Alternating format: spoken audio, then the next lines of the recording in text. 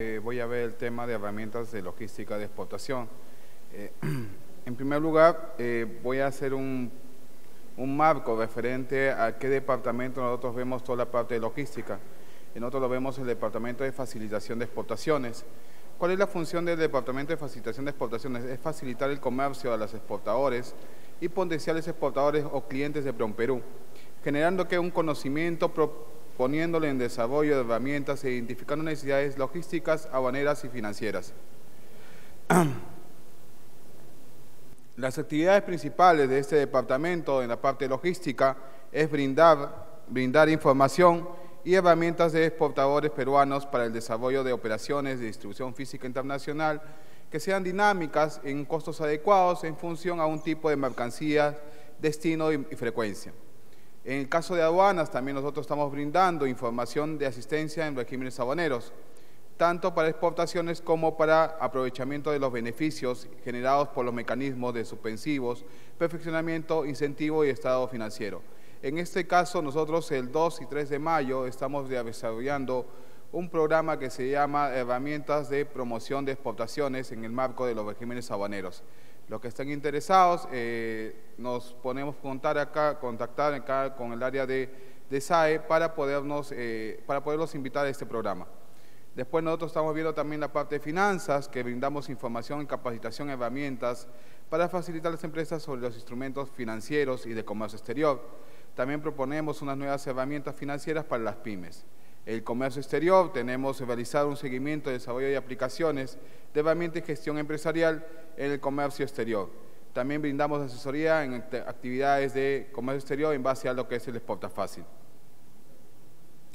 ¿Qué tipo de servicio brinda el Departamento de Facilitación? Nosotros estamos brindando en caso de asesoría especializada, capacitaciones, en este caso, como les decía, que en este caso 2 y 3 de mayo estamos realizando este programa de de cómo se llama herramientas de, de regímenes sabaneros.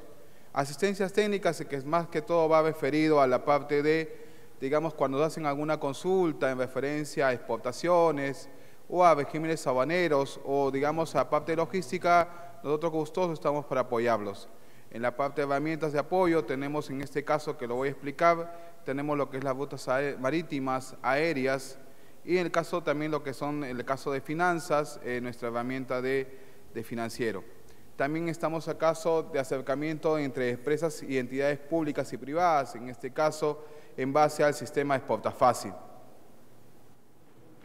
En las asesorías especializadas, un poco para explicar un poco sobre este tema, nosotros brindamos asesoría a empresas realizando su exportación por primera vez. Nosotros mediante un programa que se llama el Programa de Logística Asistida, nosotros le brindamos a las empresas un programa sobre conocimientos de qué tienen que tomar en cuenta para exportación. También a veces apoyamos, en caso cuando si fuera su primera exportación, hacerle un seguimiento en la parte aduanera y también en la parte logística para que no tenga inconvenientes en su, en su exportación. También brindamos asesoramiento durante el proceso aduanero, como les decía, en la parte logística y exportación. También articulamos con entidades públicas o privadas en caso que tuvieran un inconveniente sobre este tipo de operación. Ya en el marco sobre qué estamos viendo las herramientas de logística de exportación, tenemos una que se llama Logistic Performance Index, que es un eh, que denomina los que fue diseñado por el Banco Mundial en, la parte de que es un sistema, una herramienta que evalúa y compara los países en la parte de ayudar a identificar los desafíos y oportunidades que enfrentan su desempeño logístico del comercio exterior y que pueden hacer para mejorar el vendimiento. En este caso, el último que se cuenta es el Logística eh, Performance Indices del 2014, que permite hacer comparaciones en de 160 países. Un poco para que ustedes observen la dinámica que tiene este sistema. por ejemplo, acá ustedes pueden ver cómo es el aspecto sobre qué está midiendo un país como por ejemplo Vietnam. Vietnam en el 2014 ustedes pueden ver sobre los siguientes indicadores. Por ejemplo, en este caso tenemos lo que es eh, aduanas, infraestructura del, digamos, de ese país, tenemos el aspecto de embarques internacionales, el aspecto de la competencia en aspecto logístico, el aspecto de tiempos de tránsito que tiene, si son exactos, y en este caso también tienen los tiempos de envío. Ustedes pueden acá hacer un análisis, digamos, en qué puesto están ubicados. Por ejemplo, vemos en Vietnam que está en el puesto, en el 2014 está en el, estuvo en el puesto 48, en el 2012 estuvo en el puesto 53 y en el puesto 2010 eh, estuvo en el puesto 53. Y ahí ven sus indicadores sobre aduanas, infraestructura, eh, aspecto de embarques eh, internacionales, logística en competencias y el aspecto del tracking o digamos de rastreo de envíos y el tiempo de envío.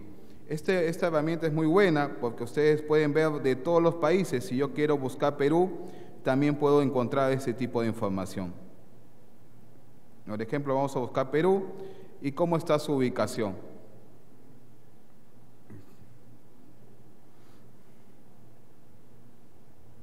Por ejemplo, en Perú está en el puesto 71 y acá tiene un aspecto de eh, sistema de aduanas. Eh, sistema de aduanas está ubicado en el puesto, tiene un indicador de 2.47, 2.72. En caso de logística de competencias tiene un puesto 2.76.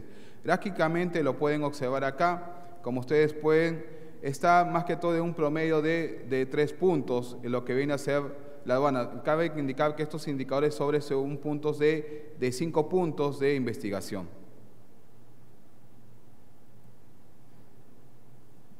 Esta herramienta es muy buena para, digamos, para saber en qué posición están eh, digamos, los países en el aspecto logístico.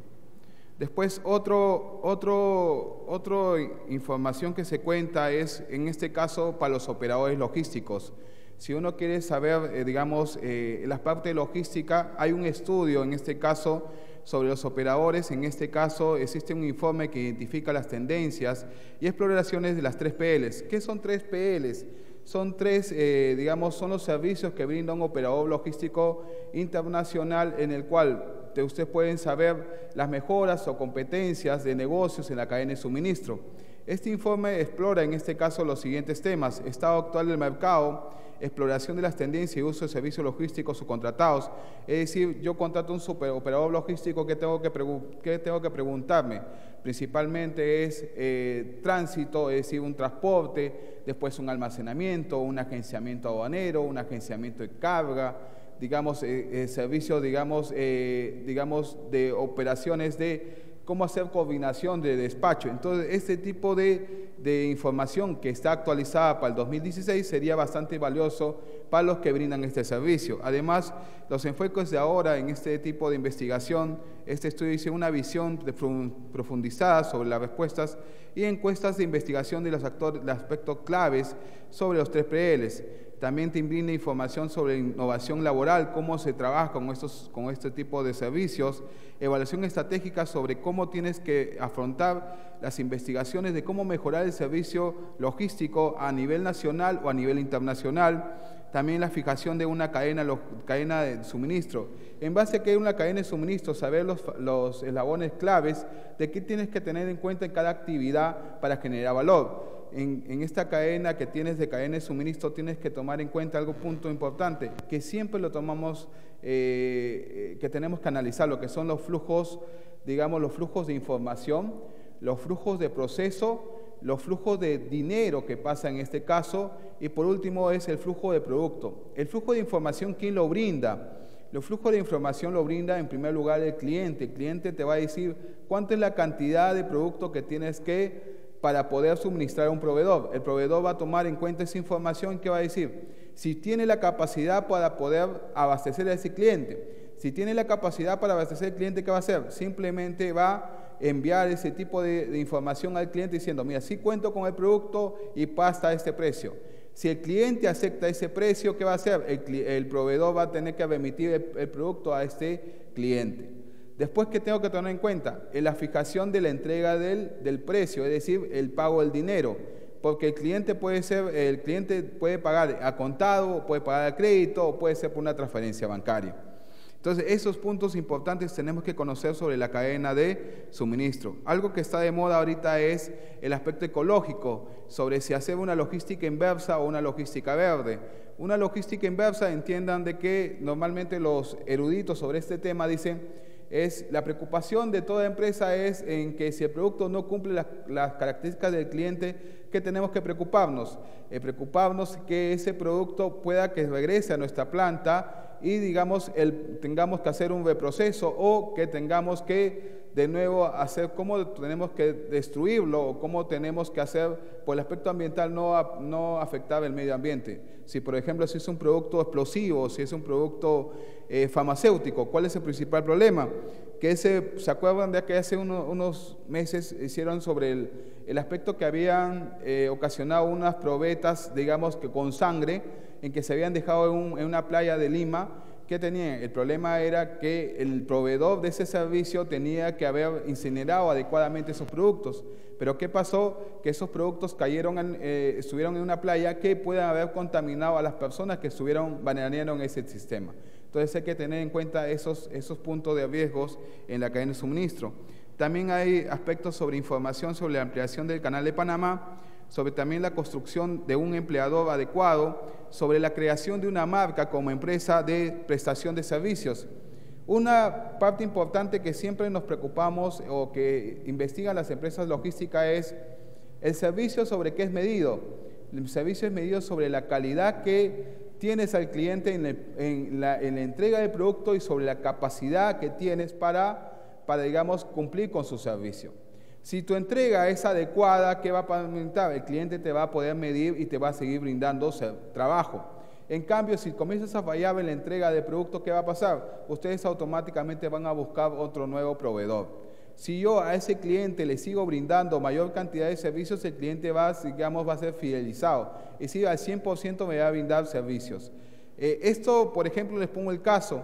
Muchas empresas logísticas ahora lo miden en base a qué si yo puedo estar dentro de la organización de la empresa de que brindo el servicio. Es, por ejemplo, eh, lo denominan in-house. ¿Qué es un in-house? Un in-house es una empresa, un operador logístico, un operador logístico que está dentro de una empresa.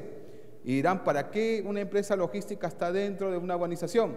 Simplemente el cliente, por ejemplo, les comento el caso, una agencia aduana, si está dentro de una empresa que está en San Isidro, ¿cuál es el problema principal de una empresa que está en San Isidro? es el enviable información a la aduana que está donde, está en el Callao. Entonces el operador logístico, ¿qué viene a hacer? Si yo le brindo este servicio dentro de esta organización, por ejemplo, estoy dentro de una organización de acá de San Isidro, me dicen, haz mi declaración acá en, San Isidro, ¿ok? Hago mi declaración de, información acá en San Isidro y le envío a la aduana. Esa información va a llegar a las aduanas, la, la procesa y hace una declaración de aduanas. Ok, logré la información. ¿Cuál es el siguiente paso? Ese tipo, la declaración tiene que ser enviada físicamente hacia la aduana. Entonces tiene que enviarse mediante un motorizado que va desde el Callao hasta la zona de San Isidro. Si eso, el operador logístico está en la zona de aplicación en San Isidro, ¿qué va a hacer? ¿Va a poder armar adecuadamente los documentos o no? Si en cambio, si lo hace el cliente, el cliente se va a demorar a hacer el proceso. Entonces, ¿qué es mejor? Que el, in-house esté dentro de la organización, ¿para qué? para que él pueda preparar la documentación, poder encontrar la información adecuada y con eso remitirla directamente a su centro de operaciones. ¿Qué hemos logrado en este caso? Lo que siempre son dos variables importantes en la logística, que es tiempo y costo. Si yo me disminuyo en tiempos, lo que va a hacer es disminución en los costos logísticos que me ameriten este tiempo. Entonces, los especialistas ahorita dicen, ¿cómo lograr que, digamos, que mi marca esté reconocida por mis clientes? La marca está reconocida en base a dos factores, en el nivel de servicio que le brindo a mi cliente. ¿Y cómo va a medir ese nivel de servicio? ¿En base a qué? A lo que le estoy diciendo, en que yo pueda fidelizar en base a tiempo de respuesta con mi cliente y segundo, capacidad de, capacidad de que pueda cumplir en la oferta que yo le estoy brindando a mi cliente. Este nivel de servicio lo explican muchos en este caso es en contratos. Los contratos, eh, ¿qué van a lograr? En un contrato tú vas a medir exactamente ¿cómo se llama? Si estás cumpliendo. Si tú no cumples con ese contrato, ¿qué va a hacer? Simplemente se basa en la penalidad. Es decir, si tú no cumples con el contrato con ese cliente, que automáticamente se activa la cláusula de penalidad y el cliente, ¿qué va a hacer? Tranquilamente te va a descontar de tu factura comercial.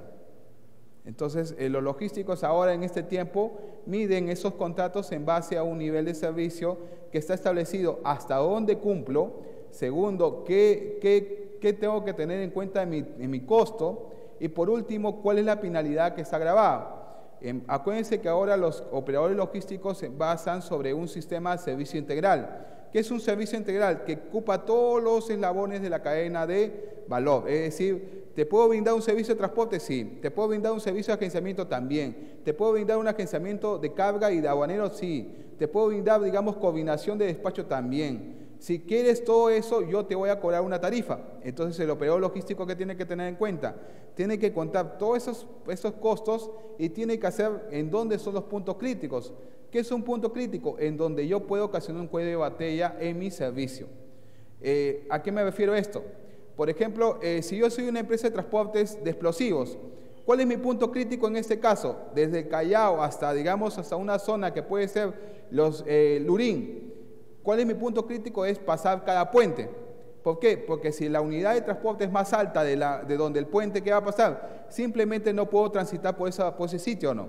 Entonces tengo que buscar una ruta aledaña que pueda permitirme lograr ese servicio. Entonces, en este caso, los operadores tienen en cuenta este punto de análisis para, ¿cómo se llama?, para poder medir adecuadamente lo que quiere el cliente. El cliente ahora exige más.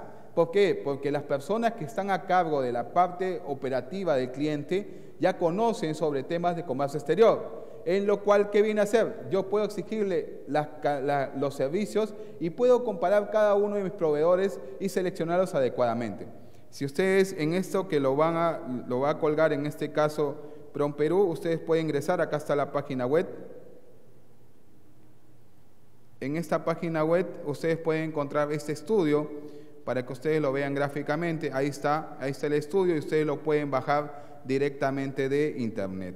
Este estudio es gratuito y está desde el 2000, tienen 2012, 2014, 2015, que es bastante importante para que ustedes lo puedan analizar.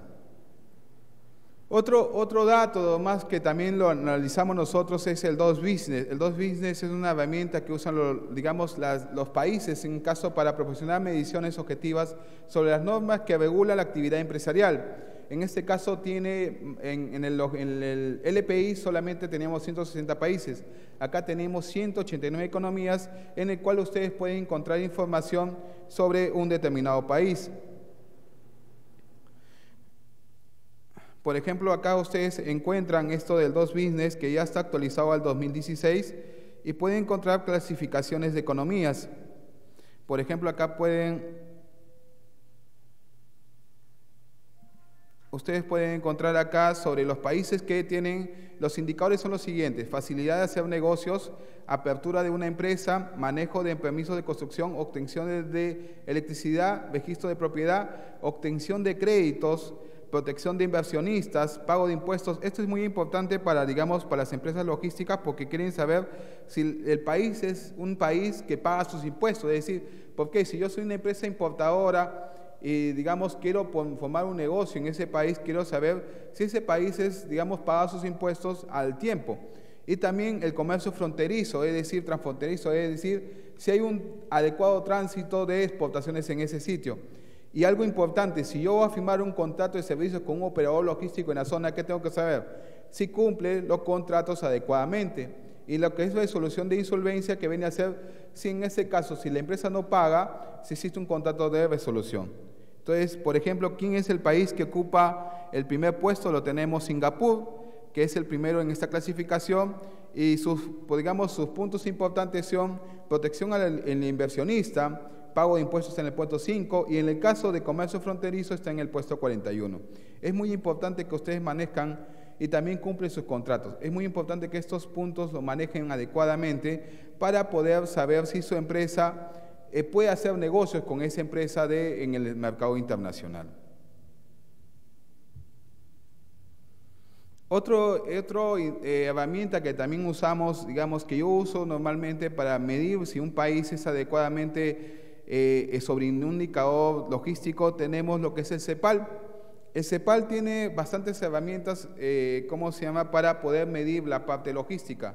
En este caso yo lo utilizo para ver el movimiento de contenedores de puertos de América Latina y del Caribe. Si ustedes pueden observar, digamos, en estos casos los puertos que, tienen, que están en primer lugar, digamos, en la parte logística, tenemos el primer lugar, tenemos Balboa, que se ha medido entre los años 2012, 2013, 2014 y el promedio son 3 millones, el 2014 tenemos 3 millones 468, 283 contenedores que se han movido del cómo se llama en el 2014. Y si el movimiento de cuánto ha sido la variación de contenedores en ese año ha sido de un 9%.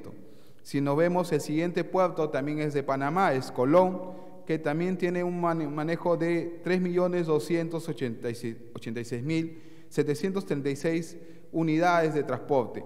Acuérdense de que las unidades de movimiento de contenedores se miden sobre TUs, que viene a ser un, 20 eh, equivalent unit, que viene a ser la unidad de contenedores de 20 pies para medir, digamos, el movimiento de contenedores a nivel internacional. En este caso, el, CEPAL hizo una infografía, digamos, para saber cómo está el movimiento, en este caso, de los puertos a nivel internacional y saber cómo vamos en aspecto latinoamericano. Si ustedes lo observan, el puerto del Callao está en el puesto 6, el puerto de Guayaquil está en el puesto 8, en el puerto primero, como les decía, está Balboa y también tiene Manzanillo en el puerto 4. Estos puertos eh, tienen la tendencia a ser puertos HAT. ¿Qué es un puerto HAT o cómo lo ven los logísticos? Lo ven un puerto, un puerto de distribución. El Callao tiene una visión a ser un puerto HAT, pero también de sistema de, de transbordo. ¿Cuál es la finalidad de ser un puerto de transbordo o puerto de distribución o de puerto HAT? La finalidad es que si una mercadería llega, digamos, de Estados Unidos, llega hasta el Perú y su distribución en este caso sea Venezuela, o sea Bolivia, o sea Chile, o sea Brasil, ¿cuál es la tendencia? Que si la mercancía, digamos, va a Brasil, ¿qué haría? Digamos, utilizaría el puerto del Callao, ingresaría mediante un régimen que se llama transbordo, se cambia de unidad, en este caso entra marítimo y puedo cambiar una unidad de transporte que puede ser terrestre. En este caso, la mercadería se haría utilizando la interoceánica y llegaría tranquilamente vía terrestre hasta Sao Paulo. Esto nos permitiría hacer negocios tanto uniendo dos países, que vendría a ser Perú con Brasil. A Brasil, que le permite ser, digamos que Perú sea un, puerto de tránsito para hacer negocios con la parte de, de digamos, océano, digamos, de todo lo que sea el Pacífico. Eh, hay muchos proyectos que tenemos acá en el caso con Brasil, en el sentido, digamos, que Perú pueda transportar mercadería desde la zona de aplicación que vendría a ser Manaos o la zona, digamos, de Acre y Bondonia, que son las fronterizas con Perú, para, digamos, de ahí pueda transportar directamente hasta los Estados Unidos o hacia la China. Esos, esos digamos, son los proyectos que tenemos en mente. Otro, otro, otra herramienta que utilizamos un poco los logísticos es el Callao Online. Este, esta herramienta que fue utilizada, es utilizada para brindar transferencia en los servicios marítimos en línea. Si hacemos un poco, este es el Callao Online. El Callao Online, ustedes tienen un calculador. Este calculador, por ejemplo, quiero hacer una operación, exportación. Si me quiero saber cuánto es el costo de todos los servicios de embarque de, un contenedor, podemos poner de un contenedor de 20 pies, pongamos un contenedor de 20 pies, ¿cuánto nos saldría en este caso? Si hacemos, ponemos operación, su empresa PYME, pongo calcular, y acá me salen los servicios, si ustedes ven, los servicios de todas las líneas navieras del Perú. Tengo Costco, tengo Lines, que viene a ser Lines, tengo APL, Evergreen, eh, One High, CMSMA, ¿Qué te permite en este caso? Saber cuánto es el costo que te puede salir por contenedor de la parte de, de todo lo que es embarque. Si hago un clock, ahí pongo, por ejemplo, acá salen 204 dólares. Hago un clic ahí y me debe salir todos los gastos que representa esta operación. Como ustedes ven, esta operación tiene los siguientes conceptos. Eh, eh, documentos fee, que viene a ser todos los documentos que vienen amarrados a la operación de embarque. El precio unitario, ¿cuánto me puede salir? Un promedio de 80 soles, todo lo que es documentación. Te emite una factura, en este caso un visto bueno, que viene a ser por, digamos, autorizar ese envío, me sale en este caso 220 soles. Y el get out, que a veces les dice como ustedes, es sacar el contenedor para, digamos, sacar el contenedor de un terminal de almacenamiento para ser puesto a su disposición. Eh, ¿Eso que permite? Digamos que ustedes puedan llenar afuera del contenedor, digamos, de sus instalaciones. Esto le sale un promedio de 116.30 dólares. Esto, esto, es, esto es transparente, es gratuito. Tiene la finalidad, digamos, de brindar información, digamos, de todos los costos logísticos de embarque de la mercadería.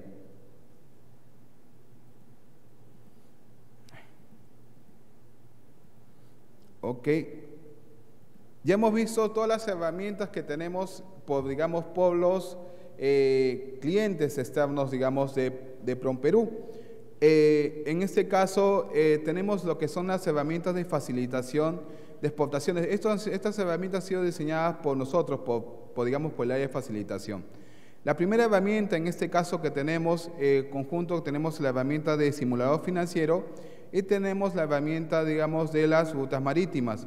En este caso ustedes pueden observar claramente, eh, tenemos 50 puertos, 14 eh, rutas marítimas que podemos, eh, digamos, hacer una visualización. El 2014 tuvimos 100.000 visitas, digamos, para las dos herramientas y en el 2015 tenemos 160.000 visitas a la fecha.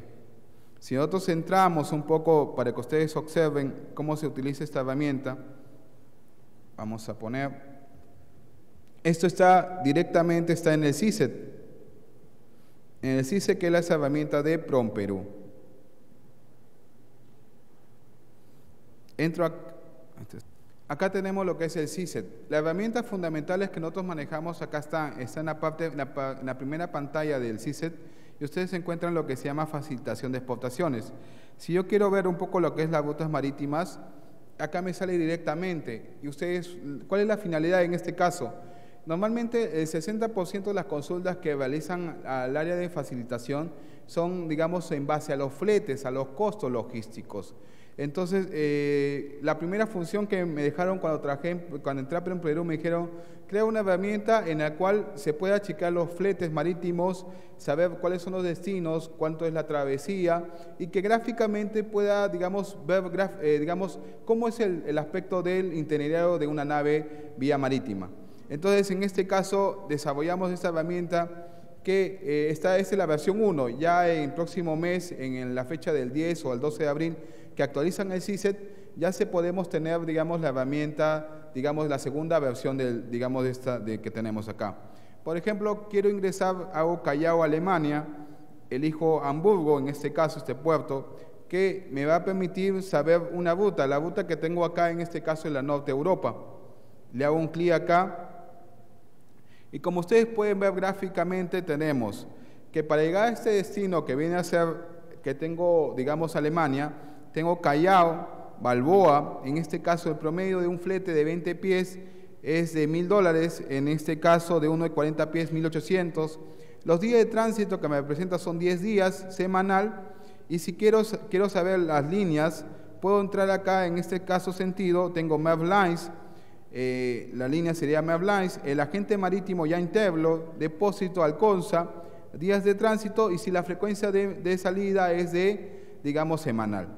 Si yo quiero ir directamente hasta Hamburgo, también me sale la información y acá me sale, en este caso, tengo los días, eh, digamos, el puerto de origen, el puerto de destino, la tarifa promedio de 20 pies está en 2.300 y de 40 pies 3.200. Eso es un carga seca. También tengo las líneas navieras, eh, digamos, que brindan ese servicio, Japaloy, agente marítimo Cosmos, digamos, depósito, en este caso Neptunia, días de tránsito 25 y semanal. Como ustedes ven, tienen una información gratuita, digamos, de cómo llegar a un destino. Si yo quiero ver gráficamente eh, cómo es la ruta, en este caso, puedo ver acá, pero que carga. Y así gráficamente pueden observar, digamos, lo que es, digamos, la ruta marítima. digamos, tengo un problema con el, con, se llama, con el navegador, pero, digamos, sí te da, permite saber gráficamente todos los destinos. Entonces, esta herramienta es fundamental, digamos, para aquellos que están haciendo negocios, digamos, a veces siempre la, pregunta, cuando van a hacer un cierre de negocio, pregunta, ¿cómo puede ingresar o cómo son los fletes internacionales a ese destino? Otra herramienta que también hemos desarrollado, esto lo desarrollamos en el 2013, que son las guías de exportación. Y la guía de exportación, la primero que, siempre tenemos, el mejor negocio que tenemos acá en el Perú son los productos perecibles. Entonces desarrollamos una guía logística. Esta guía logística está marcada a todos los productos que son de agro, pesca, en el cual tiene la finalidad de establecer las etapas de acondicionamiento, almacenamiento, embarque y distribución de mercancías. Esto permitirá al exportador incursionar con éxito a los mercados internacionales de productos perecibles que están, están enmarcados en lo agro y pesca. ¿Dónde lo puede encontrar? también está en el CISET. Esa, esta información está en, logística de exportación. Entran al, itinerario y chequen, acá tienen lo que viene a ser logística de perecibles. Esto lo hicimos virtual. Ustedes pueden ingresar acá, ya hacen un clic y ustedes pueden observar en forma gráfica, digamos, toda esta guía.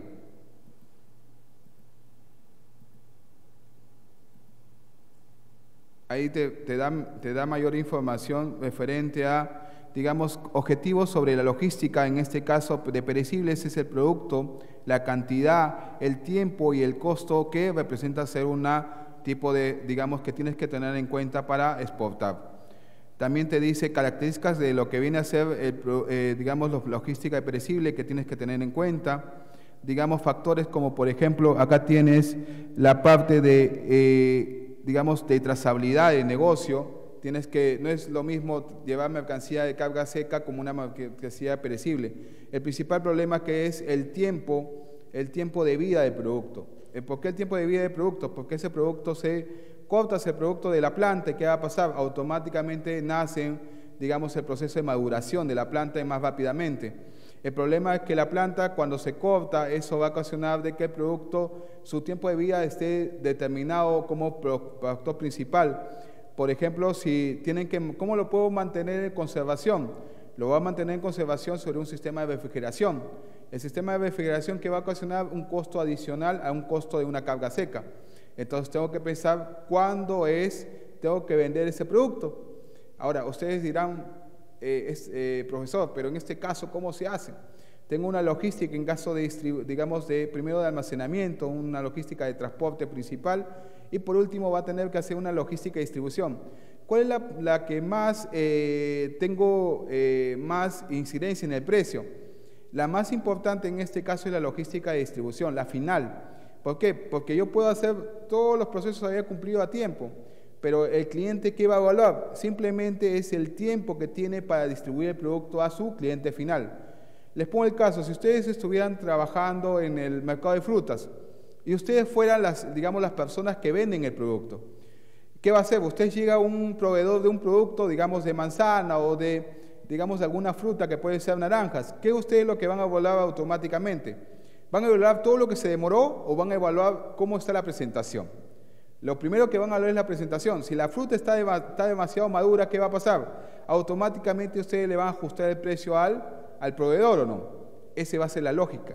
Entonces, ¿qué evalúa bastante el cliente en el exterior? Lo que va a evaluar el cliente exterior es el tiempo de vida que tiene para distribuir ese producto a su cliente final. Entonces, ustedes, eh, eso es lo que ahora las empresas de transporte internacional lo que están haciendo en este tiempo. ¿Qué están haciendo? Por ejemplo, yo conozco una empresa que se llama, eh, que hace servicio en Paita. Y lo primero que te dice esta empresa cuando hace servicio en Paita, te dice, yo un servicio regular, digamos, de, transporte, yo te puedo demorar desde, desde Paita hasta, digamos, hasta, hasta Europa, demora un, un promedio de 23 a 25 días. Entonces, pero si yo te digo, yo te lo puedo hacer en 15 días, ah, entonces sí me conviene porque puedo entregar, tengo 10 días para distribuir mi producto. Entonces estas empresas de distribución, lo que te dicen, yo, ¿cuál es mi ruta? Simplemente yo vengo desde Rotterdam, Rotterdam llego hasta, hasta, digamos, a Ecuador, que viene a ser Guayaquil, recojo en este caso banano y después bajo al Perú. Llego hasta Paita, Paita recojo banano, recojo uva y de ahí de frente me voy hasta Rotterdam. ¿Qué me, qué me a ver? Bajar hasta el Callao, porque en el Callao, en este caso, no soy competitivo, porque hay muchas empresas que brindan ese servicio. Entonces, ellos están diciendo, en vez de que yo haga un transporte de 25 días, yo te ofrezco un servicio de 15 días. Pero acá viene algo importante, que te dicen en este caso que el costo de transporte va a ser un poco más caro. Claro, va a ser un poco más caro porque lo que estoy midiéndote es el tiempo que vas a tener para vender tu producto. Eso es lo que ahora están tomando en cuenta estas empresas, empresas peruanas, que, para que tengan un mejor precio en el negocio internacional.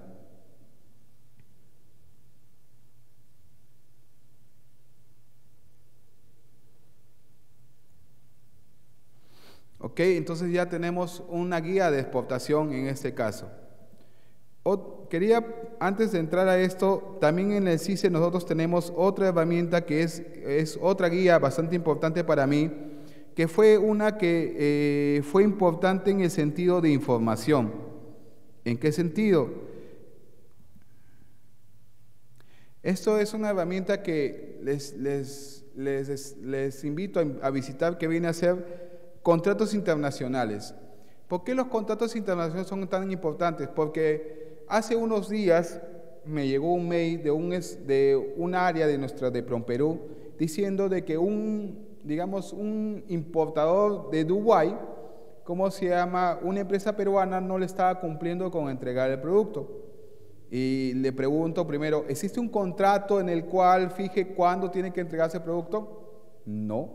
Segundo, eh, establece cómo es la forma de pago. Me dice, en este caso el, el de Dubái, ¿Qué pasó? Simplemente esta empresa, ¿cómo se llama? Confió en buena fe y pagó directamente mediante una transferencia.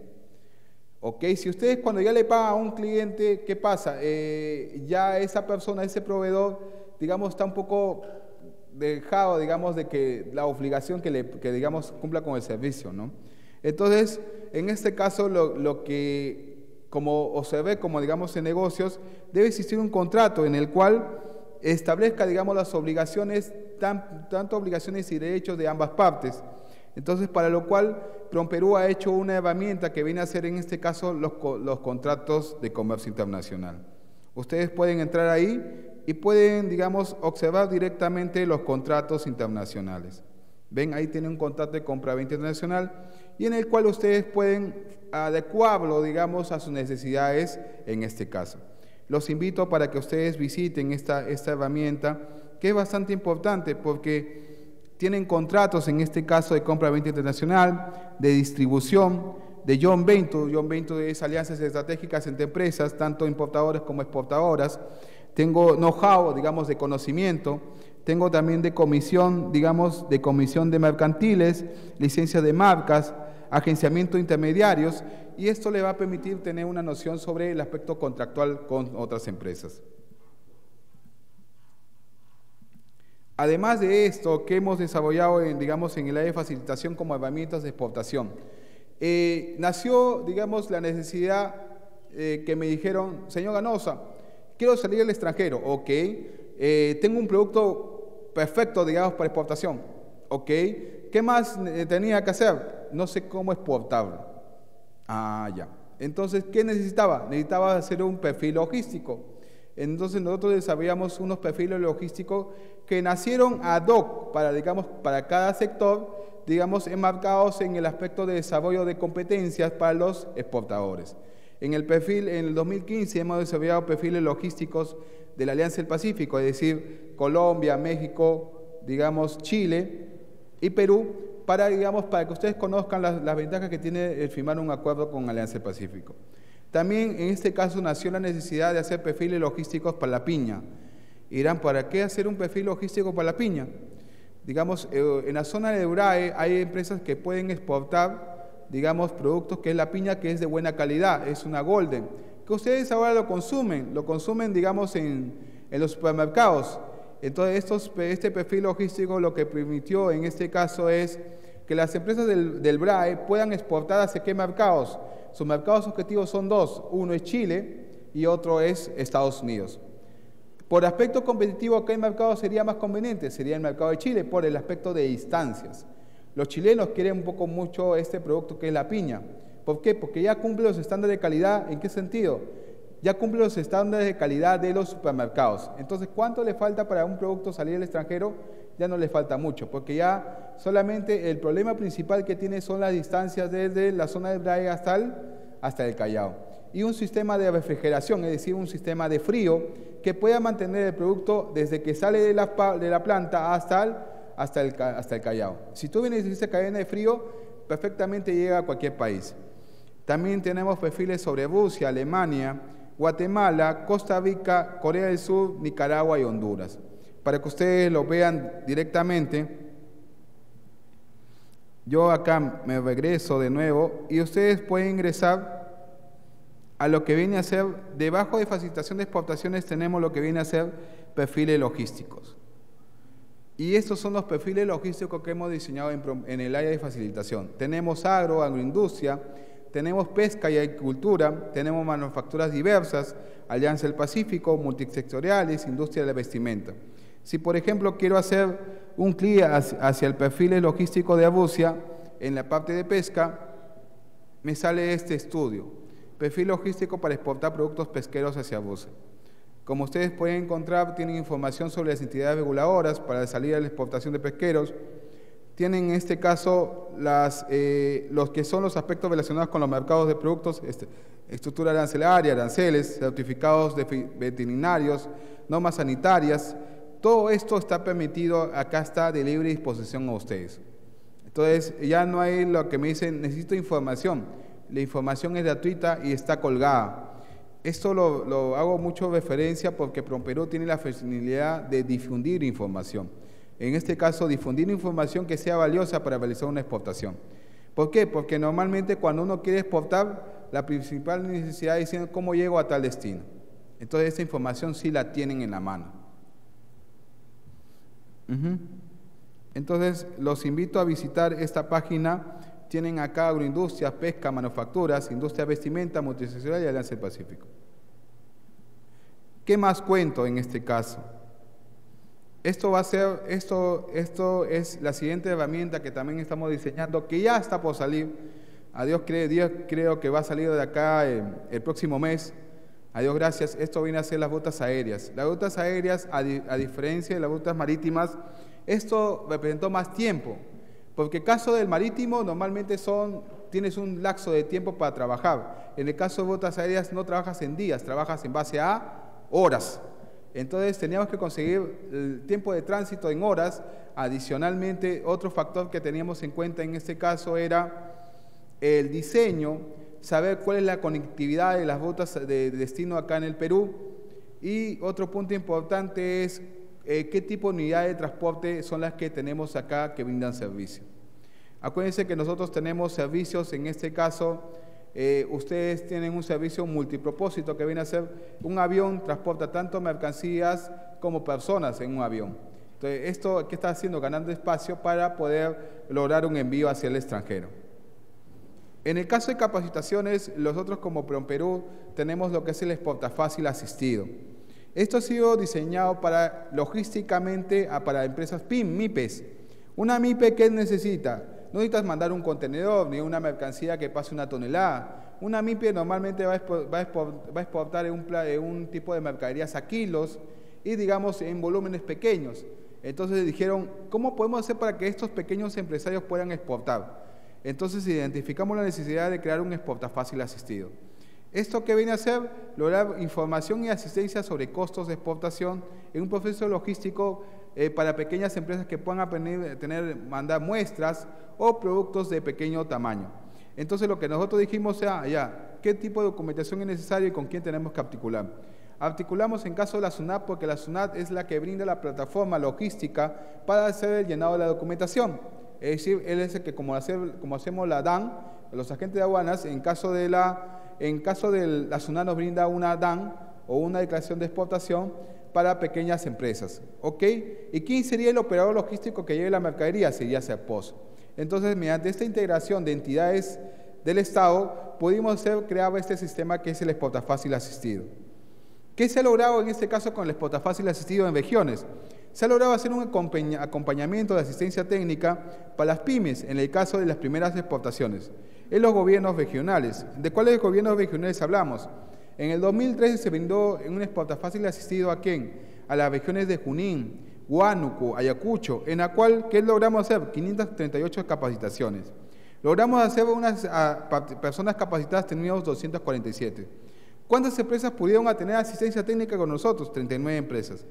Lo que se logró exportar en ese tiempo fueron 10.000 envíos efectivos, es decir, 10.000 envíos, 10.000 dólares en dólares en envíos efectivos. En el año 2014, ¿qué se logró?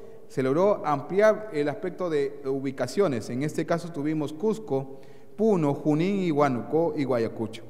¿Cuántas capacitaciones logramos? Logramos hacer 1.200 capacitaciones. 170 pymes asistidas, es decir, que se brindó asistencia técnica para enseñables el sistema. 21 nuevas empresas en exportadoras que se realizaron, 29 envíos efectivos y cuánto se logró enviar 50.442 dólares americanos. En el 2015 que hemos logrado, ahora hemos ampliado a Iquitos, Arequipa, Cusco, Puno, Junín, Huánuco y Ayacucho. ¿Qué logro se logró en este caso? Hacer 1.300 nuevas capacitaciones, 400 200 asistencias técnicas, 47 envíos y se logró enviar también 50.775 dólares americanos. Ahora, estamos haciendo un rediseño sobre nuestros programas de asistencia técnica logística. En este caso, en este año vamos a brindar asistencias técnicas en el caso de buenas prácticas de logística internacional, sobre costos de exportación, logística de asistida, logística de ferias internacionales, cotizaciones internacionales, logística en destino, regímenes aduaneros de promoción. Esta metodología del programa lo estamos haciendo de la siguiente manera. Primero es, eh, se llama, el programa se llama Palpi, en el cual intenta hacer primero desarrollar una especie de mecanismo en el cual, digamos, primero tenemos que convocar a todas las empresas que están en la ruta exportadora, porque la ruta exportadora es, digamos, nuestro pilar sobre donde trabaja Perú a las empresas que ya están identificadas como potenciales exportadores a nivel internacional. Eh, después, ¿qué tenemos que hacer? Tenemos que brindarles un sistema, un programa de buenas prácticas logísticas, en la cual tendremos que analizar la situación de la empresa en la parte de almacenamiento, compra, distribución y una propuesta de optimización de recursos. Cabe indicar que los problemas principales que tenemos las empresas peruanas es no es exportar, el sentido es o tener un orden dentro de la empresa. Por ejemplo, ah, yo siempre visito Gamava y en Gamava yo observo algo muy simple. ¿Existe un almacenamiento adecuado de los productos? Ustedes van a Gamava y ¿dónde está el almacén? El almacén lo van a encontrar en el último piso. Entren al ascensor y van a encontrar su almacén. En almacén, ¿cómo está ordenado? Está como ordenado de acuerdo a cómo ingresaron los productos. Pero no hay un orden de cómo, qué, cuánto de capacidad tengo o cuánto es lo que tengo almacenado en este caso. ¿Qué pasa cuando un producto es de moda pasa en desuso? En un almacén tiene dos problemas principales. Uno es el deterioro, es decir, que la mercancía pueda sufrir de, de hongo o puede ser que el producto, digamos, ¿qué pasa? se pueda destiñir o no, que es el problema principal problema que tiene. Y otro es la obsolescencia. ¿Qué viene a ser obsoleto un producto? ahí está el problema principal que tiene la tecnología es que el producto se, vuelve obsoleto en un promedio de seis meses o de dos meses o tres meses, de acuerdo a cómo lo ve el mercado. Entonces, si un producto es obsoleto, ¿qué puedes, ¿puedes venderlo? No. Por ejemplo, las mujeres eh, basan su aspecto de moda en base a la tendencia. Si este verano establecieron eh, la tendencia en base a vallitas o a, determinados colores, y si el producto ya cumplió sus tres meses de vida, digamos de moda, y yo dejé tela que no se pudo cortar, ¿ese producto lo puedo vender? No, ese producto tienes que liquidarlo porque ya no lo vas a vender en un determinado tiempo. Entonces, ese producto quedó en almacén, no lo pudiste vender. Entonces, ahí tienen que tener cuidado porque ya no, ya no lo puedes utilizar en otra cosa. Otra cosa son las compras. Ustedes saben comprar adecuadamente. La gente a veces me dice, no, yo compro centralizadamente, yo compro en este caso descentralizado. Yo solamente te estoy preguntando si tus compras, las compras adecuadamente en el sentido, la cantidad que necesitas. Muchas empresas compran, por, sigamos, por el aspecto impulsivo. ¿Qué viene a ser impulsivo? Que a veces te dicen, mira, tengo una oferta de comprar tanta cantidad, ¿ok? Por ejemplo, les pongo el caso. Yo soy una empresa que vende, que produce, digamos, Coca-Cola o produzco una bebida. ¿Qué necesito para producir en este caso de Coca-Cola? Necesito azúcar. Ah, ok, si en el mercado internacional me ofrecen, quiero, tienen una cantidad suficiente, cantidad bastante grande de, azúcar, ¿qué hago? Me dice, mira, te ofrezco menor precio a lo que está en el mercado por el precio unitario. Ok, le dice, ya, te compro todo el lote, le compro todo el lote, pero ¿cuál es el principal problema que vas a tener? ¿Tienes el sitio para donde almacenar esa cantidad grande de mercadería? No. Entonces ahí te va a hacer que vas a tener que buscar otro almacén para poder cubrir con esa necesidad. Entonces ahí nos dimos cuenta que hay otro problema que son de compras. Y otra cosa es la distribución, la distribución a tus clientes principales. O digamos, ¿y ahí qué pasaba? Que la gente estaba en base, hacía una distribución en base a urgencia. ¿Qué va a urgencia? Por ejemplo, el cliente me pide en este momento, quiero 100 unidades. A los 10 minutos me pide, ¿sabes qué? Ya no son 100, mándame en otro cabo 20 unidades. Y así se sigue pidiendo. ¿Es, ¿Es bueno vender, distribuir así?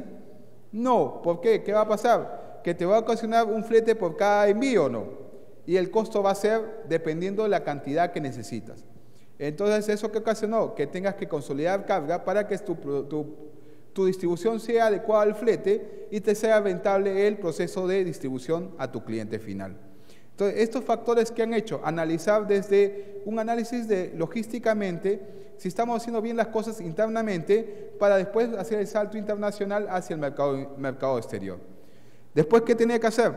Ah, ya, ya determinaste tus buenas prácticas, ya estás ordenado. ¿Qué tengo que ver? Si tus costos, tus costos están bien hechos, es decir, hacia el mercado internacional. Si tus costos están mal hechos, es decir, que vas a tener una pérdida en el aspecto de distribución internacional hacia el mercado exterior. Después que dijimos, ah, ya, ya le determinamos costos, ahora digamos una logística, enseñemos toda la parte operativa a las empresas. Y eso es lo que hicimos mediante el programa de logística asistida. En este caso, le brindamos, te ayudamos a hacer tu documentación, a saber cuántos son tus impuestos a pagar al exterior, a seleccionar adecuadamente un operador logístico, a hacer un proceso de exportación, a hacer un envío de muestras y al aspecto de acogimiento a un aspecto de botulado. Después de eso, lo que venía a ser, cómo tenías que hacer la logística de una feria internacional, a cotizar en el aspecto internacional y por último, conocer los regímenes sabaneros internacionales. Estos regímenes sabaneros lo que te va a hacer es aprovechar cómo tienes que hacer tu exportación adecuadamente. Yo escuchaba a las empresas, ¿qué regímenes? Hice una encuesta, ¿qué regímenes conoces aduaneramente? Me dijo, doctor Ganosa, solamente conozco dos. Uno es la exportación y otro es la importación. ¿Que no conoces otro más? No, no conozco otro más. El Estado peruano tiene regímenes aduaneros que logran hacer la promoción de exportaciones. Uno es el drawback, otro se llama la posición en franquicia, otro se llama admisión temporal para la exportación en el mismo Estado y el último es admisión para perfeccionamiento activo. Todos esos regímenes que logras hacer, hacer más óptimo tu ingreso o salida de mercancías. Si tú conoces esos regímenes, lo que vas a lograr es una buena exportación y ahorrar costos a tu empresa. ¿Qué logro con esto? El apoyo de tu envío al exterior y ser óptimo en la parte de recursos, tanto internos como externos de tu empresa. Después, ¿qué logró, qué, ¿cuáles fueron las necesidades que teníamos que hacer? El facilitar el acercamiento de las empresas con entidades públicas y privadas. Acá nació la siguiente interrogante. Nació hacer un programa que se llama Programa de Consolida Brasil. ¿Cuál es la finalidad del programa Consolida Brasil? Es incentivar las exportaciones peruanas hacia Brasil a través de la, del corredor ISA, ISA Sur. Ahora estamos haciéndolo ISA Sur y ISA Norte, para lo cual nosotros hemos creado captillas informativas. Uno es identificar qué es el programa Consolida Brasil, otra es los potenciales, eh, potenciales productos que puedes exportar de este mercado y también ponerte en contacto con el CEMUS de Brasil. Acá viene a ser una antena comercial en estado de Acre. Acá lo que primera fase que se logró hacer es poner a una persona de, digamos, de Mincetur, ¿dónde? En la zona de Acre, Bondonia y de Manaus.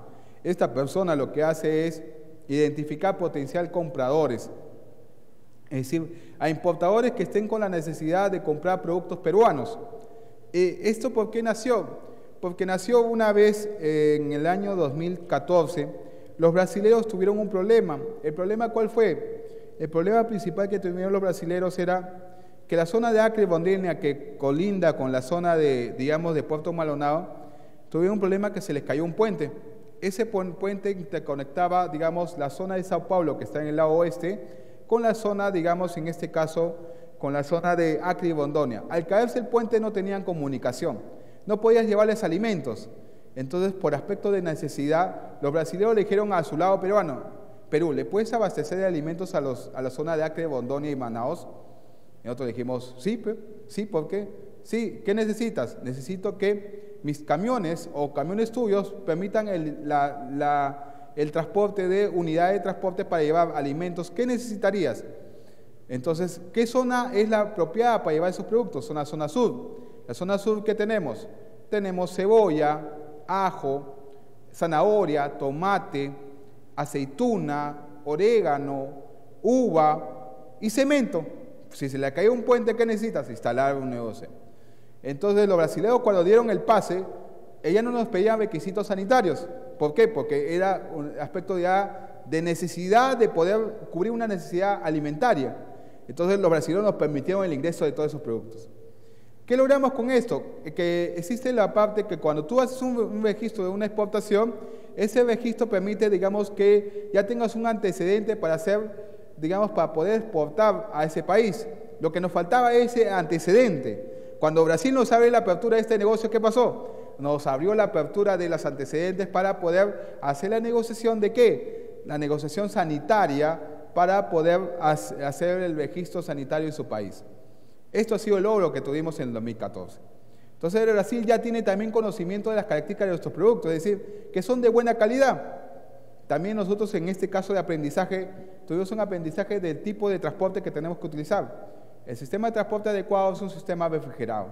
Es decir, si ustedes, una empresa quiso mandar cebollas, pero en aspecto ambiente, digamos, como carga seca, ¿qué cree que pasó con la cebolla?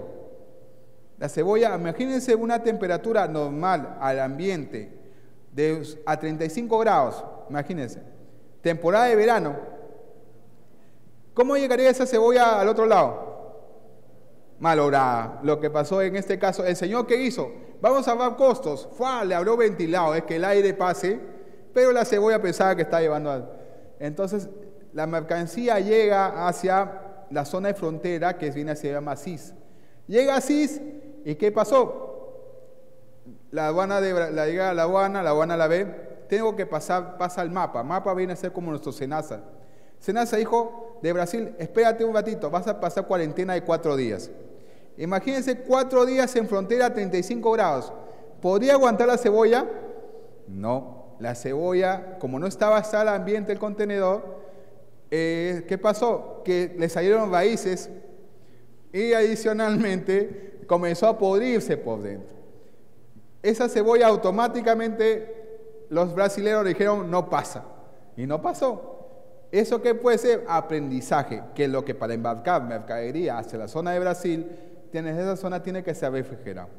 Lo que quiso el Señor era experimentar en este caso, pero el experimento le salió mal porque su cenaza de ahí le hizo un aspecto de cuarentena de tres o cuatro días. Entonces, eso nos obligó a nosotros también a aprender de que se tiene la necesidad también de crear una red de facilitación para poder impulsar este tipo de desarrollo.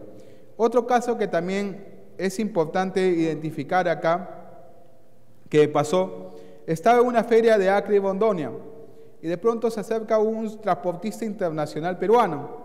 Me dice, Juan Carlos, ¿sabes qué? Tengo un problema, me dice.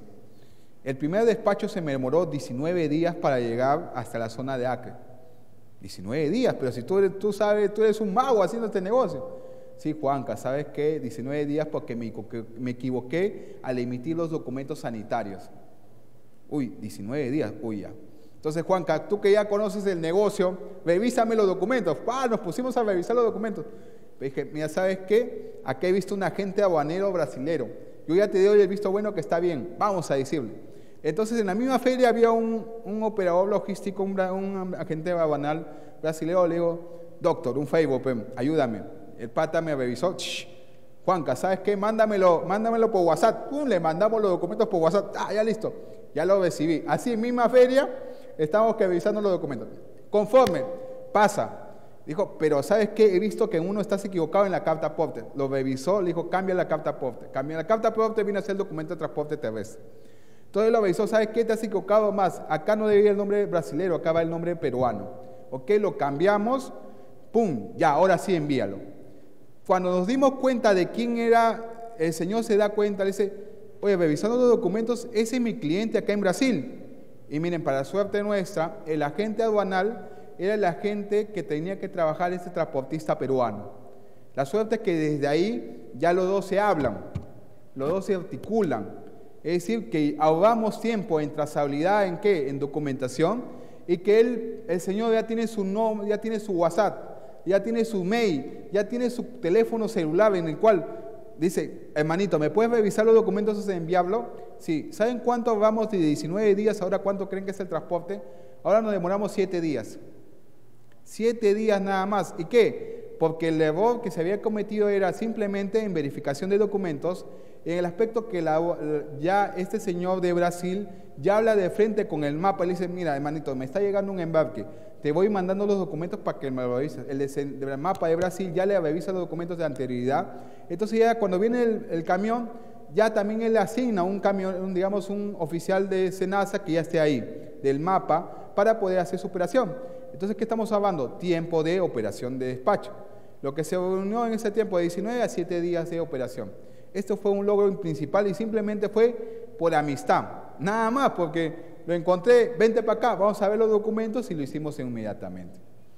¿Qué se logró en este caso? Eh, lo que hemos hecho en estos años, en el 2015, hemos sensibilizado y capacitado en rueda de logísticas y de negocios a nivel internacional. Hemos hecho misiones logísticas comerciales. Eh, eh, esto es lo que hemos realizado. Hemos realizado actividades en Madre de Dios, Arequipa, Tacna, en programa Vigo Branco, esta es la que les mencionaba. Eh, en La Libertad, Piura, Iquitos y Manaos en Amazonas, una misión comercial. En esta misión comercial en Manaos les cuento un caso. Me acuerdo de que un alumno me dice, Juan, vamos, quiero ir a una feria, me quiero irme a la feria de Manaos porque tengo productos de exportación.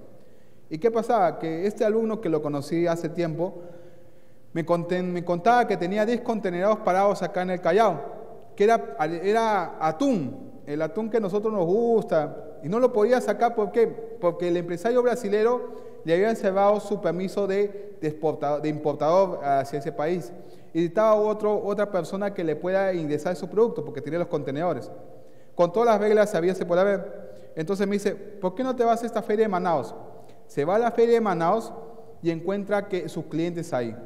Porque él decía que el 40% de la canasta alimentaria de los brasileños es pescado.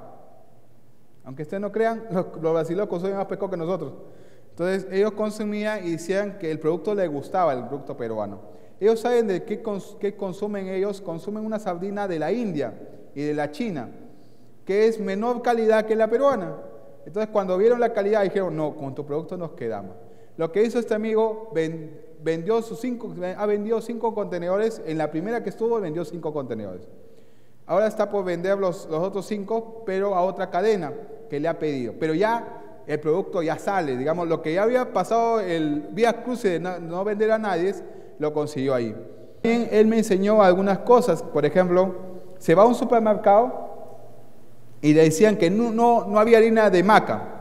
Eh, va a esta feria, va al supermercado y encuentra harina de maca, encuentra yacón, encuentra, ¿cómo se llama? Uña y gato, decía.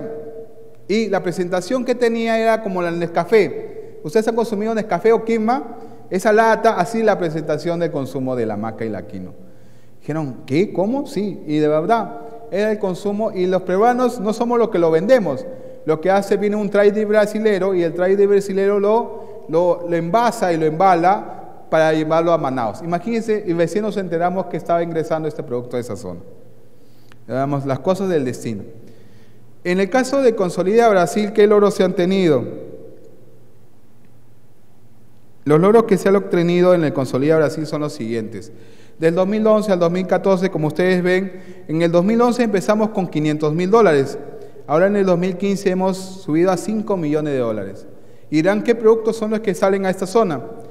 En la zona, como les decía, ahorita empezamos con cebolla, que se exporta de Arequipa, aceituna y orégano. Y un producto principal que está saliendo es cemento. Irán cemento, sí. El cemento de Yura que se produce, que produce en Arequipa, en una zona llamada Yura. ¿Qué pasó? los, peruanos, cuando se cayó este puente, ¿qué pasó? Los, peruanos, eh, los de Yura vieron negocio, entonces dijeron, ah, ya, ¿por qué no nos instalamos, no nos tragamos de Yura de acá de Arequipa, sino pongámonos al lado de Puerto Maldonado? Los, señores de Cemento Yura instalaron su punto de almacenamiento en, ¿cómo se llama?, en Puerto Maronao. ¿Qué hacen los brasileños? Los brasileños solamente cruzan la frontera y compran la, el cemento. Eso fue punto de visión de negocio. Con lo cual se ha comenzado a subir a 5 millones de dólares. Otro producto que también ya va a salir es, en este caso, ¿conocen Aceros Arequipa? Si ya tengo cemento, cemento ¿qué me falta? El fierro. ¿Para construir la casa o no? Entonces los brasileros eh, también están, ya en estos meses ya está saliendo la aprobación para exportar eh, acero. Entonces como ya tengo el fierro de construcción y ya tengo el cemento, ya puedo exportar los dos productos como combo.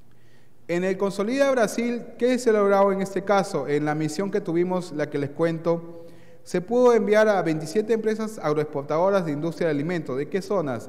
De la zona de Tacna, Moquegua, Arequipa, Cusco, Madre de Dios. 13, 13 proveedoras de servicios logísticos multinacionales con operaciones en Lima y Arequipa en los puertos del Callao y Matrani. 10 empresas logísticas de Brasil, digamos, los brasileños vieron, vinieron acá a este negocio para ver si, teníamos oferta exportable. 16 compradores, 98 citas del sector comercio y 54 citas en el sector logístico. Lo que se ha logrado es 5.8 millones de ventas a través de Interoceánica Sur. Y esto es un poco lo que es lo que estamos haciendo en la parte operacional. Adicionalmente, les quería mostrar Nosotros tenemos, eh, estamos promoviendo también lo que viene a ser el OEA. El OEA es un operador económico. ¿Qué pasó? Ok, nosotros tenemos lo que son lo que el Perú en este caso tenemos lo que es el operador económico autorizado. Es un programa que está diseñado por la SUNAT. La finalidad es que eh, primero existió lo que es el VAS. El VAS es un es digamos una certificación que da una empresa privada para diciendo que eres un buen exportador, eres un buen operador logístico, eres un buen importador. ¿Qué te permite en este caso, digamos, que tú llegues al otro país y tengas menores reducciones de controles a nivel internacional? Entonces, como dijeron, si las empresas privadas están teniendo esa certificación, ¿por qué, digamos, las empresas, digamos, por qué la aduana no puede emitir una certificación? Entonces, la Organización Mundial de Aduanas dijo, tenemos que tener una certificación internacional. Entonces, el OEA, que es en este caso una certificación emitida por el, el Estado peruano con, ¿cómo se llama?, con eh, registro, digamos, en el Estado eh, internacional. Por ejemplo, si yo tengo OEA acá en el Perú, por ejemplo, les pongo el caso, si yo soy OEA y tengo una colaza para presentar mis documentos, tú vas a ser el primerito haciendo cola, es decir, la aduana te atiende a ti primero. Segundo, ¿qué dice la aduanas? Ah, si, por ejemplo, tienes un problema en el despacho, tanto de exportación e importación, la aduana se compromete, digamos, que te pone un sectorista. Es decir, como, como ustedes tienen sectorista en el banco, el Estado peruano te pone un sectorista en para hacer tu despacho. El sectorista, ¿qué tiene la función? Que cualquier reclamo que tengas a la aduana, el sectorista tiene la función de ver cuál es el problema y por qué te están haciendo problemas la misma aduana. Y si tiene esto, te da la facilidad para, digamos, adecuarlo a tu digamos, al caso. Este, a este angelito lo puedes llamar en cualquier momento del día. Eso es lo que me están diciendo. Adicionalmente, la aduana, si estás en OEA, lo que te va a permitir en este caso, eh, digamos, brindarte capacitaciones gratuitas para que tú conozcas cómo es el sistema. El sistema de OEA es gratuito, no tienes que pagar ni un sol. Lo que te va a costar a ti es la de, adecuar tu empresa para que este sistema funcione. Entonces, eh, este OEA es muy bueno. Los, estados, los americanos han venido acá para brindarnos charlas sobre los beneficios que tiene. ¿Qué se logra en este caso? Por ejemplo, si yo voy en OEA, eh, yo mando mi exportación a Estados Unidos, si tengo una especie de ratificación de, de, convenio, lo que va a hacer en Estados Unidos tu mercancía pasa libremente, porque ya hay la confianza de que ya lo certificaste en Perú. Ya lo verificaron, ya vieron que tu mercancía está en buen estado, está cumpliendo las normas internacionales y no está libre de, contrabando o de drogas. Entonces, esto permite ese sistema de OEA que te da esa información al respecto.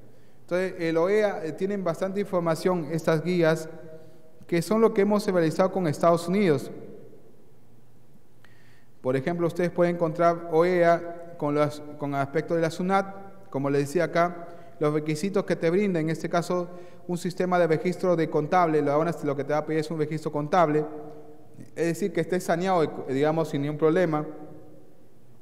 Trayectoria de satisfacción, de cumplimiento, solvencia financiera y un nivel de seguridad. Es decir, los beneficios, para que ustedes ahí lo vean por, la misma SUNAT, un punto de contacto, lo que decía, un punto de contacto con la SUNAT, un mejor nivel, menor nivel de inspección, es decir, si tu despacho va a, va a ser por OEA, va a ser, digamos, como un canal verde, es decir, fácil de de salida.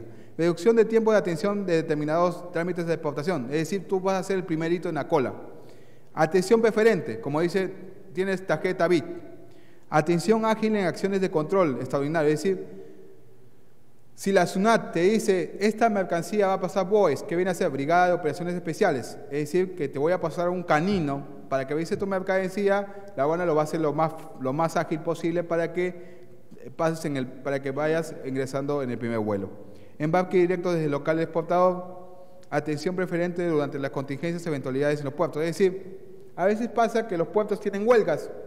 Entonces, ¿qué va a pasar? Te van a cerrar el puerto. Entonces, ahí te van a hacer una especie de establecer un plan de contingencia para que tú pases adecuadamente. Las experiencias aprendidas que ha aprendido OEA es que tengas una cooperación a nivel internacional, la participación en talleres internacionales, lo que te, te ofrezca las aduanas, estrategias regionales, estrategias regionales en las Américas y compartir las experiencias con peruanas con otros países. En el sector privado lo que te logras en este caso es un sector privado en creación de equipos de trabajo, participación en la normativa, es decir, tú vas a exponer tu punto de vista en el caso de algún inconveniente que tengas. Sensibilización es decir, que automáticamente te establezcas tus puntos críticos en tu operación y una generación de confianza a este sistema. Entonces, esto es lo que se viene en el sistema, digamos, logístico. Nosotros lo que queremos en este caso con el, con el CISET y que lo hemos eh, en PROMPERÚ es que tengas todas las maneras, habidas y por haber, digamos, de poder conocer y difundir la información sobre la parte logística. Espero que con toda esta charla hayan podido determinar todas las herramientas que ofrece PROMPERÚ en la parte de facilitación, pero en la parte de logística y aduanera. Que conozcan, digamos, qué hemos estado desarrollando en estos años. yo tengo tres años acá en PROMPERÚ y lo que hemos eh, identificado en este caso es necesidad de información mediante perfiles logísticos de cómo llegar hasta el mercado internacional. Después, el Consolida Brasil es articular con tu empresa. En el programa de logística asistida es que yo te enseño a cómo exportar a nivel internacional. En el Buenas Prácticas Logísticas lo que te enseño es a ordenarte en tu empresa, tanto en la parte de compras, almacenes y distribución, y también lo que te he logrado es hacer las rutas marítimas, que de una manera fácil y, ágil puedas, digamos, determinar tus costos internacionales. ¿Cuál es, digamos, el aspecto de, envíos, envíos semanales de tu mercadería? Y también el aspecto de tiempo de tránsito. ¿Y qué operadores logísticos son los que brindan este servicio? Entonces, espero que con esta información eh, puedas investigar y si tienes alguna consulta, hacerla llegar a PROMPERÚ para que te podamos ayudar en lo más rápido posible. Eh, eso es todo lo que puedes poner sobre el tema de logística internacional en la parte de herramientas. Eh, Perú estamos en estas metas y espero que hemos hecho un trabajo conjunto para poder lograr las metas que han establecido en este gobierno. Sin más que decirle, me despido de ustedes. Como les decía, mi nombre es Juan Carlos Ganosa y estoy atento para atenderlos. Gracias.